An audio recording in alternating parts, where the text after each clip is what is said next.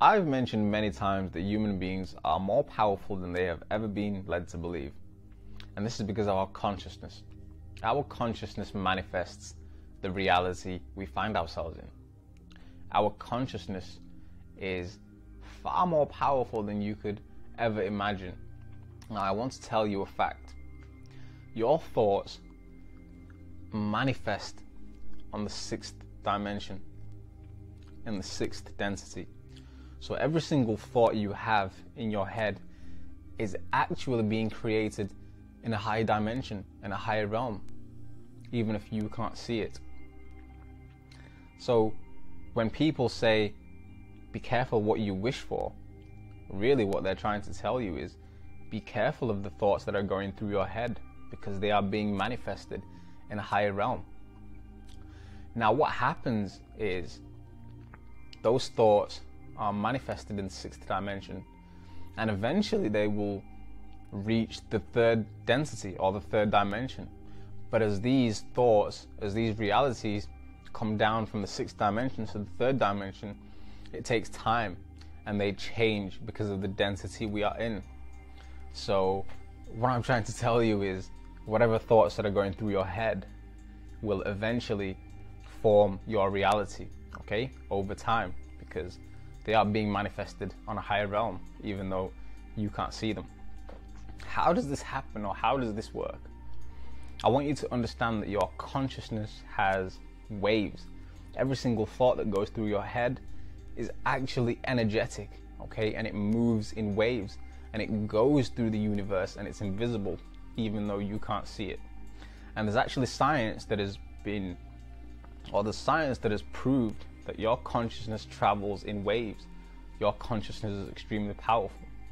There was a scientist who did an experiment and he had a pendulum and he was focusing his attention and his consciousness, his thoughts on this pendulum and he got it to move eventually. Now, I can't quite remember the name of the scientist or the experiment. However, this proves that our consciousness can manifest our own reality. There are stories in the military industrial complex of children who had special abilities that were able to bend spoons with their thoughts. And this is shown in movies like The Matrix. Okay, if you watch The Matrix, you'll see a child who was able to bend the spoon uh, with his consciousness.